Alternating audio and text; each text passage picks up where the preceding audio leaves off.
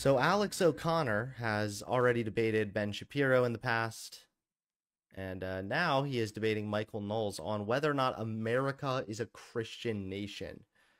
So this ought to be good. I, of course, already know the answer. Of course, it's not. Even if the founders of America were Christian, even if they took inspiration from Christianity, America was designed to be a secular nation.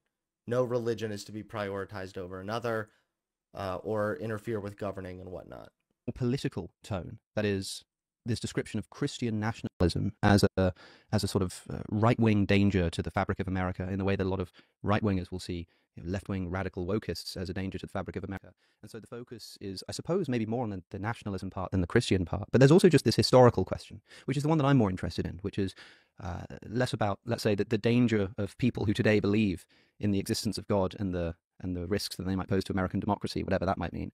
But whether the country that you're in is uh, best described in a historical sense as a Christian nation. And I've heard you say before that it is. And I've heard you use phrases like the soul of America is Christian and saying things like this. And I suppose the first thing I wanted to clarify is I don't want to put words in your mouth, but if you do say that America is a Christian nation, or perhaps ought to be a Christian nation, are you talking here legally, like uh, in terms of the documents, the constitution, or are you just talking about the say the culture or something like that, or the philosophy undergirding the the, the legal element of this conversation. I don't always neatly separate these two things. I know that some American libertarians are fond of saying that, you know, politics is totally distinct from culture or something like that. I, I think that's all a little bit silly. I think what we're talking about here when we talk about the soul of a country is uh, a nation's constitution, capital C, and a nation's constitution, lowercase c, and that laws and customs and taboos and ends and goals are, are not so neatly separable. So uh, another problem, I suppose, with Americans being a little dismissive of history is that uh, we pick arbitrary dates to start looking at our own history.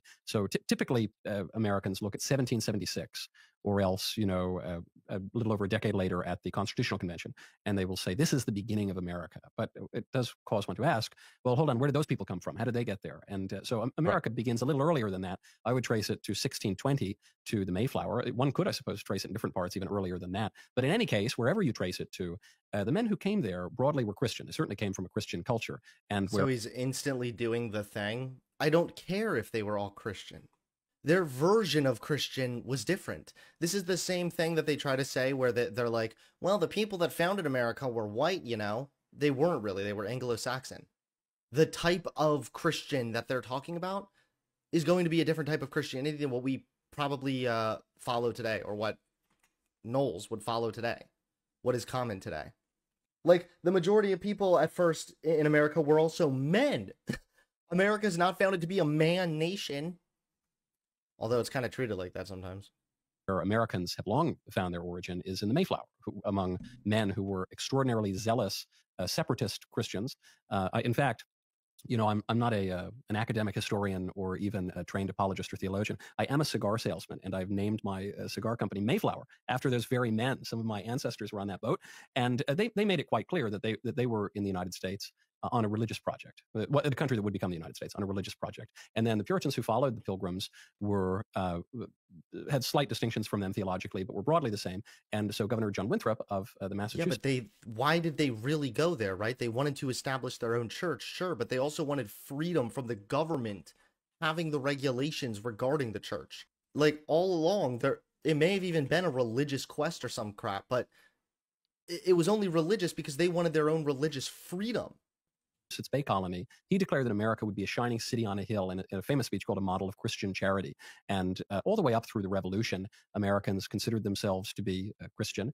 The founding fathers were a little bit of a hodgepodge of Freemasons and deists, but there were a number of vaguely faithful seeming Christians among them. And even uh, the ones who were not particularly uh, orthodox in their Christianity, at, at, least recognize the importance of Christianity to the country. So you have a founding father, author of the Federalist and the first Chief Justice of the Supreme Court, John Jay. He said that uh, Christianity must be the religion of the United States. He, he uh, thanked God that uh, the country had the same religion, were descended from the same stock. He, he went so far as to say that Christians, non Christians, should never hold public office. Now, there's no religious test for office in the Constitution, but there are religious parameters around the country. So if you go back to the philosophical founding document, the Declaration, wow, it, it, begins and predicates the nation on the notion that uh, all men are created equal and endowed by our Creator with certain unalienable rights. So I'm not trying to convince. Just if this guy said it though, like, so what? That's that's not in the Constitution. That's not in the Declaration of Independence. Even if it said like rights endowed by our creator, that's very vague terminology regarding religious stuff.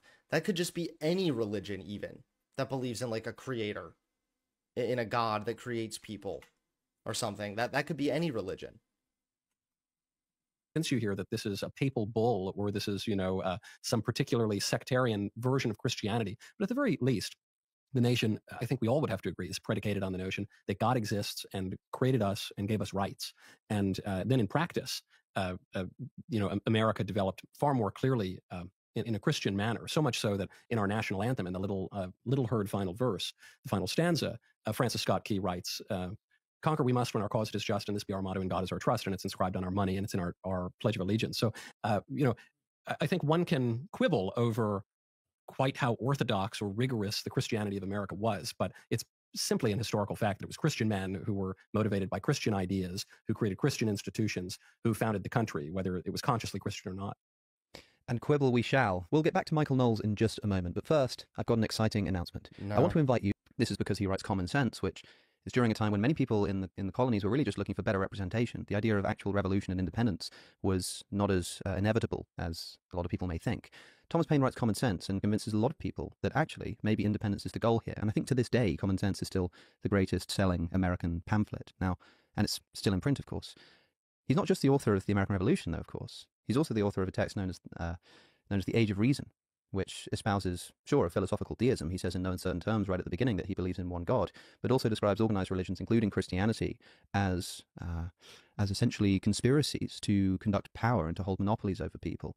And in fact, this this leads him into into a great deal of controversy. He ends up uh, narrowly uh, escaping execution. He gets exiled. He dies, and then when his bones are dug up to be brought back over to, to, to England, they end up getting lost, and we still don't know where his bones are today. And about six people attended his funeral.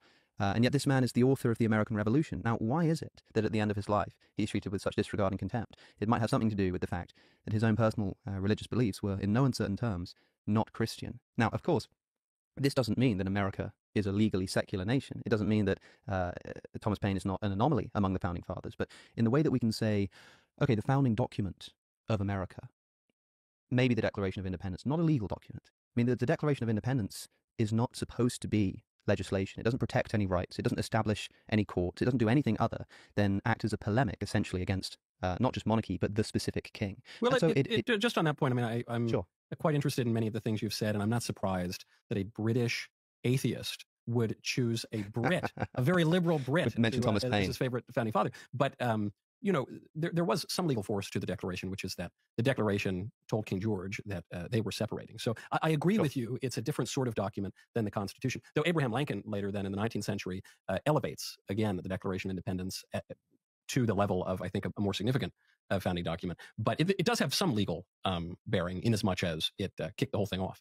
Yeah, it's treasonous. I mean, uh, there's a there's there's a, I mean there's a I mean literally treasonous in, in, the sense that if I write a document right now that uh, says something illegal, which uh, can happen in the United Kingdom, uh, this would have sort of legal relevance, let's say. But the, the declaration is clearly supposed to be uh, a mixture of of it's supposed to draw upon law and history and also rhetoric. It's supposed to uplift and inspire a nation to revolution, which is sort of. I feel like they would benefit from defining what exactly they mean by like America being a Christian nation, even in the first place because it sounds like when I hear that I'm thinking, okay, is it like legally a Christian nation? But it sounds like what Knowles is talking about is culturally, generally speaking, the people were Christian, which okay, but that's definitely not what I'm thinking of when I hear Christian nation. It might help to uh, to to define their terms what it uh, what it did and what it does. But when you get to the actual legal document, it takes a little bit more time and a few more people to, to throw together. Interestingly, by the way, one of Thomas Jefferson's earliest drafts of the Declaration of Independence doesn't mention a creator. It does say that uh, that, that men and women are endowed by uh, that they are created equal, but it doesn't say that they're endowed by a creator. It's only sort of Congress in later editing that document that that gets added in. But look, I'll grant it to you. Fine, the Declaration of Independence has a creator. Still not Christian, by the way. And of course, if a Christian writes the creator. They're probably talking about the Christian creator.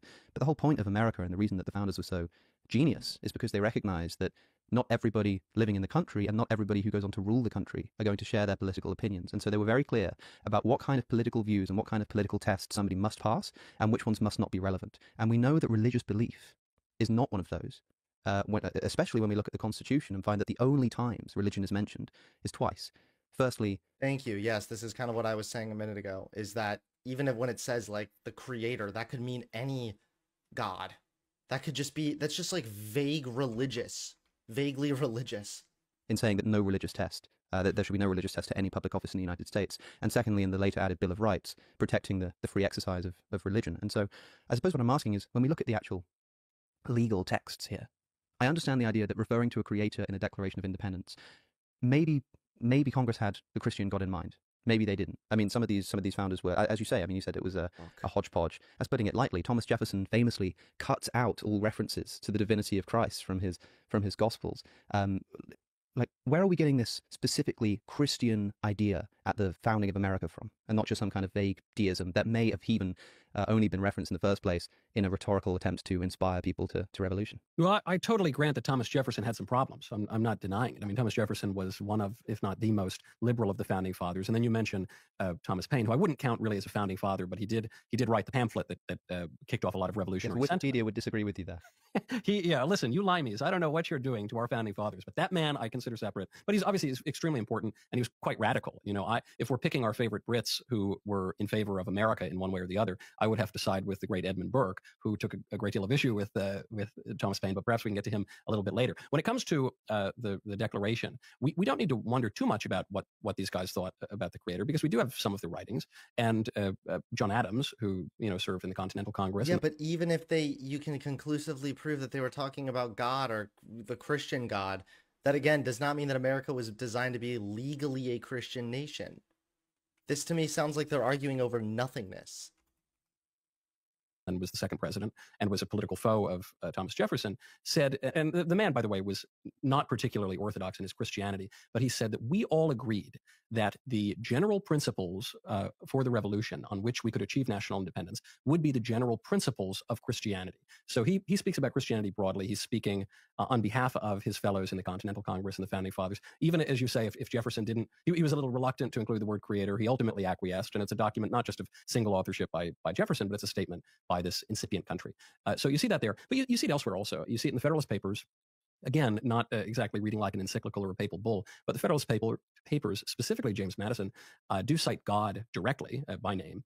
And uh, then you have the Constitution. You mentioned the, the First Amendment of the Bill of Rights, which uh, says that there will be the free exercise of religion. There will be no establishment of a church. This is quite misunderstood in modern day because uh, some people take this to mean that that either there can be uh, no church established anywhere in the United States, or they would keep, go even further and say that uh, the country would be secular. You know, it'd be, it'd be absent uh, from religion, and this would have been completely uh, unheard of to the framers of the Constitution. In fact, the, the chief political reason for the refusal to establish a church at the national level is that there already were churches established at the state level. There were a number of them, and they persisted for decades after the ratification of the Constitution. So no one would have understood that to be uh, unconstitutional or contrary to the spirit of the new nation. If so, the Constitution never would have been ratified.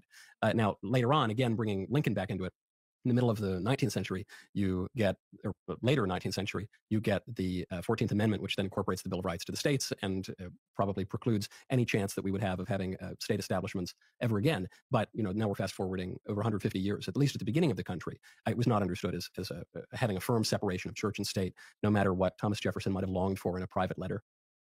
Yes, well, of course, that's often referred to. And I, I know we must be careful uh, not to conflate the let's say, private interpretations of the founders of what the Constitution said and what the Constitution either actually literally says or what it should perhaps be understood to, to say. I mean, the Establishment Clause doesn't just, it seems to me, uh, preclude the ability to have an established church. Congress shall make no law respecting an establishment of religion. It seems much more broad than this, or prohibiting the free exercise thereof. It seems to be a, a protection both of private religious belief and also, or I should say, both a exactly. Uh, protection. I'm glad he brought that up. That's like one of the first parts in the Constitution of private religious belief, but also a preclusion of the government to legislate in any way that respects an establishment of religion, not but just again, establishing key, some state church. The key here, though, is the, the Congress part. Congress shall make no law, because it's very easy to look back with the, the current mode of uh, jurisprudence and constitutional law and and impose that on on the uh, Continental Congress, or I'm sorry, on the uh, a constitutional convention. But that that was just not what the, the phrase meant at that time or or for uh, many decades afterward. You know, uh, Congress could make no law uh, doing those things because the states could do that, and the states did that, and the states had plenty of religious laws. We, we had blasphemy laws on the books in the You're United just States until very, very that, recently, though. and uh, the the churches did have established. Wait, you're just uh, right- saying that. They're like, we're we're saying that because they already have the state churches. No, I'm pretty sure it's because the founding fathers literally came to America again to get to to escape religious persecution. He's just this is like the most basic shit he's getting wrong. rather the states had established churches. So uh, if we're talking about um, some protection of an individual right to believe whatever he wants, that's just not there. The Constitution was far more limited. And it, it, when we're talking about something like the First Amendment, what we're actually seeing here is a restriction on the right of the Congress to Sure. make these sorts of declarations. So how about this then? Uh, the United States, at least at its founding, was at the federal level a secular nation. I wouldn't say secular, really. I mean, I, I would say it uh, it did not have an established church, and I would say it did not take a sectarian side in things. The founding fathers and the framers were were all pretty um, focused on that.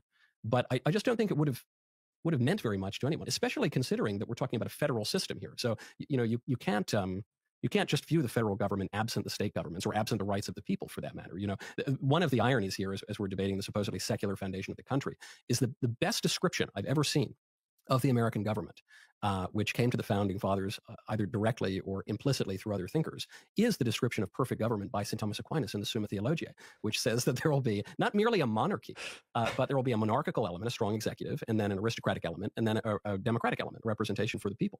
And so in the American system, as it was founded, we've decayed a little bit since then, I'm sorry to say, uh, that's exactly what you have. You have the thumatic element in the executive, which could have been a hereditary king, or at least an elected king. Um, uh, Alexander Hamilton argued uh, to some degree for that. Um, and then we have the aristocratic element, and then obviously there's a strong democratic element. But but it, it confuses a lot of modern liberals, including Americans, because they say, you know, we're a democracy and democracy is at stake, and you know, whatever. Our buildings are temples of democracy. But obviously, there's quite a lot to the American system that is not democratic, and it's because they were they were trying to balance all these different types of regime, as as well as balance different types of power. The power of the, the national government, which confusingly we call the federal government, even though federal refers to all of these different layers and protections Yeah. for the states, and then obviously the state power, and then the individual rights as well. Yeah, I mean, look, I, uh, I, I suppose I do want to talk about Thomas Jefferson and his wall of separation, but look, I mean, suppose that we were trying on this this hypothesis that America is explicitly a secular nation, and that's what the founders intended. You you might ask, okay, could the language not have been a bit clearer? Maybe, but I could ask the same question in the other direction because really the the, the question of whether America is a secular nation, I think, should best be framed as is it a religious nation or not? If it's not, then what are we left with? And if the claim is that it's a Christian nation, I could ask similarly, what's with the complete and utter lack of any reference to God, let alone Christ or Christianity or anything of that sort in the Constitution? If the founders quite clearly, uh, in their private letters, were saying to each other, "Yes, this is this is certainly Christian," which also I don't even think is true. I think that for every example you have of a founder talking about the Christian basis of America, you can find even sometimes the same founders saying the opposite. For example, famously, John Adams signs the Treaty of Tripoli, which says that the government of the United States in, is not in any way founded on the Christian religion. Now, you're probably going to want to say something like, now, I don't know, again, I don't want to put words in your mouth here, but look, this is the Treaty of Tripoli, right? This is he's, he's quite clearly just writing to some Muslims, trying to, you know, Stop them the from tides. taking our sailors. Also negotiated right. by a uh, by a Jeffersonian diplomat. quite right indeed as well. Um, and so, okay, sure. In fact, you know, why don't I avoid putting words in your mouth and, and tell me what you make of this Treaty of Tripoli, in which we have those words. I'll repeat them. I will underline them and uh, underline them again. The government of the United States is in no way founded on the Christian religion. How do you explain that one? Oh, well, I explain it exactly as you just have, which is it's the Treaty of Tripoli, okay? And these Muslim pirates were stealing our sailors, and we wanted it to come to an end. And it's not even as though John Adams negotiated this directly. In fact, tellingly, I think it was negotiated by a uh, an acolyte of Jefferson, a Jeffersonian diplomat. And so, but all, all of that to say, I don't, I don't really dismiss your point. You're right that there was some confusion among the founding fathers, and they didn't uh, certainly didn't found the country as hierocratic or uh, theocratic or anything like that. Theocracy just being government by clerics. Uh, cer- certainly, it isn't. Though I I am skeptical of your suggestion that for every um, pro-Christian uh, point that I could find in the Federalist Papers or the Declaration, or you know at least implicit in the Declaration, or in the private Huh. correspondence of uh, John Adams or Madison, for that matter, that you could find uh, another point on the other side. I, I agree. You can find a, a lot of confusing. Um, messages and even contradictions there but i think the evidence is overwhelmingly on the side of christianity in some form or another so uh, yes you're right the the president signs a uh, prudential treaty to to preserve some of our sailors, and he tries to assuage the Muslims because he knows the only way to get them to stop is to say we're not really a Christian nation, don't worry. But you know, I, again, I I I think that uh, that that little treaty with those random little Muslim pirates taken against uh, all of the other documents and the whole you know century and a half of American history that we've cited, it doesn't it doesn't quite hold up. I think there are better arguments for And uh, I- secularism. I think that that little treaty, you know, signed and directed towards that random little British king is also uh, not particularly relevant here, especially given that you just said Are you hold on? I do think that Knowles has a I think that Knowles has a decent pushback here as far as like the negotiation. Like they were saying it wasn't a Christian nation because of the negotiation. I think he has a decent pushback there actually. Uh, but overall Alex is doing a great job debating this. Christianity. You said Well, you just you're said telling me that the Declaration of Independence and the Treaty of Tripoli are on equal standing and significance to American history. You don't believe that. No, I don't believe that. what I do believe is that they're both equally relevant to the present conversation. Because you said a moment ago, it's quite funny how you, you said, I, I, I dispute this claim that you say that every reference I have to Christianity in the letters of, of Thomas Jefferson, in the Federalist Papers, in the Declaration of Independence, and then stops yourself and said, or, or I suppose, you know, implied Yeah. by the Declaration of Independence. Because you pick an example where Christianity is not mentioned at all. It, it doesn't get a mention. And, and what I want to say is that although, Yeah, although. The, the, the Christianity is implicit. I agree. the Creator is mentioned. I'll give you that much. well, it's, yeah, you it's know, not Ahura Mazda. You know, we're not talking about uh, some demiurge or something. I mean, I, uh, presumably these men are talking about uh, some creator, at least vaguely resembling the Christian God. I'm going to I'm going to imagine so too. Um, however, I would say I'd refer to what I said a moment ago, which is that the, the founding fathers were uh, geniuses in this regard of knowing exactly how much of their own worldview to put into the words on the on the page. So, although they may have been thinking of a of a, of a Christian God, it may be that they think to themselves, well, uh, let's write this in such a way that if you don't have the same view of God that I do, you can still uh, identify with this document. Especially given that the founding fathers had completely and utterly different views of, of God, even even just amongst the company uh, that that ended up making up the Constitutional Convention. But the, the reason that I'm, I'm drawing a comparison here to the Treaty of Tripoli is because, of course, the Declaration of Independence is. I mean, they don't have the Treaty of Tripoli, you know, in Washington D.C. Behind Congress, four yeah. inches of, of National Archives. bulletproof glass. Correct. Yeah, um, but the point that you that the way that you say well yeah okay so john adams was was writing that america isn't christian but he was just doing this essentially as a rhetorical tool to help serve the political end that's maybe what i'm suggesting is happening in the declaration of independence it's more relevant because of course it's the declaration of independence but in the same way that Hmm. when I was saying a moment ago, the Declaration of Independence is just this document that's supposed to inspire what is a predominantly Christian nation to revolution. He's going to say, yeah, endowed by their creator, even though really, you know, that, that, that maybe isn't, isn't what he privately thinks, but he writes it because he's trying to achieve a political end. I- think So you in just the same way that John Adams does that with the Treaty of Tripoli, the difference is that in the Treaty of Tripoli, John Adams specifically references Christianity, and in the Dec- Declaration of Independence, Sure. uh, Jefferson does Well, I, th- I think you've just made my point, though, accidentally, which is uh, we have to consider who the Treaty of Tripoli is designed to persuade, a bunch of foreign Muslim pirates, and who the Declaration is designed to persuade. It's addressed to King George, but it's obviously to persuade the American colonists. So why is it that uh, the Continental Congress believed that they had to appeal to yeah, broad so if they're appealing to the colonists by just pretending to be religious, it suggests that some of the founders weren't really actually religious, but they were rather just appeasing political ends. religious, read Christian uh, principles to persuade the Americans, it's because they were broadly religious and, in fact, Christian. And they write about this too. So if, if your argument is some of these founding fathers, you know, they might have pretended to be a bit more Christian than they actually were, I think you're probably right about that. Uh, but I think that that also kind of proves my point because when we talk about whether or not America is a Christian nation, I'm not even uh, particularly concerned with the idle musings of Thomas Jefferson or even John Adams, who I prefer to Thomas Jefferson. I'm more concerned about that lowercase c constitution. What kind of a country is this really in practice beyond the declarations of a president or two, or e- even some of the elected representatives who perhaps Really? have uh, different views than most people? And I think Do you this really really want to take that approach? Because isn't like participation in church declining significantly? Isn't like religion on a steep downward spiral in this country? Okay, Knowles, if you want to go based on society, then on how people are acting, then America's becoming a less Christian nation by the minute, dude. like if you want to do it that way, then then it's it's looking even worse for Christianity. This is to Alexis de Tocqueville, who observes that America has a, has a, a chasm between the way that it talks and the way that it acts. You know, uh, Yes. America talks in this very liberal, modern, fashionable way, but they behave in this really conservative, traditional, o- openly religious way. America has always been more religious uh, than most of the West, and that's become especially true in recent years. And Tocqueville make, makes an interesting observation too, which is that he says America in the future will either follow secularism that exists. There's a little seed of secularism here. They will either Mhm. follow that toward atheism, or they will follow the broad Christian culture toward the apotheosis of And now we see what's said is uh, Catholicism. Now, I, I know I think I've managed to upset every single person who's listening at this point, but Alexis de Tocqueville was a very wise man, and and uh, probably he has a point here that um, uh, the the contradictions and the the dissension that you're observing in the founding era. I think you're overstating the the um, secular impulses here, but in any case, there, there was a little bit of that. Uh, they, those ideas are going to follow themselves to a logical conclusion. So uh, again, I'm not even arguing that America is a Christian nation, is now and ever shall be a Christian nation. I'm merely observing that America was founded as a Christian nation, going back in the early days It of was not settlement. founded uh, to be a Christian nation, though. All right, they're just saying the same thing over and over and over again. Well, if you liked that and you want to watch me go over the rest, give this segment a like. If you want to support the channel, please consider becoming a member today. Members get early access to videos, access to all the stream VODs, and exclusive access to emotes as well. So if you'd like to support the channel, become a member today.